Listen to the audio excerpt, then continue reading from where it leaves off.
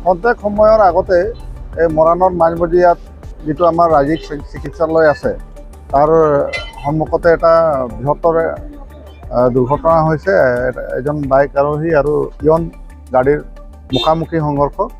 আৰু ইয়াতে বাইক আৰোহী আহ, গুৰুতৰভাৱে আহত হৈছে বুলি আমি গম পাইছোঁ। যিহেতু শিৱসাগৰ দিশৰ পৰা আহি আছিলে আৰু গাড়ীখন ডিব্ৰুগড় দিশৰ পৰা আহি আছিল। ইয়াতে গুৰুতৰভাৱে আহত হোৱা ব্যক্তিজনক ইতিমধ্যে ওৱান জিৰ' এইটে চিকিৎসালয়লৈ লৈ গৈছে আৰু একদম চিকিৎসালয়ৰ সন্মুখতে হৈছে।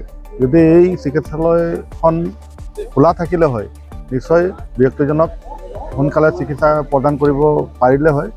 দুৰ্ভাগ্যবশত এই চিকিৎসালয়ৰ টুৱেণ্টি ফ'ৰ যিটো হাৱাৰ চৌবিছ ঘণ্টাৰ মানে সেইটো বন্ধ হৈ গ'ল। গতিকে নাজানো কি পৰ্যায়ত আছে আৰু কেনেকুৱা ধৰণৰ এক্সিডেণ্ট হ'ল এই সময়ত ময়ো আহি উপস্থিত হৈছিলোঁ। গতিকে এইখিনি জানো। মই ঘৰলৈ গৈ আছিলোঁ।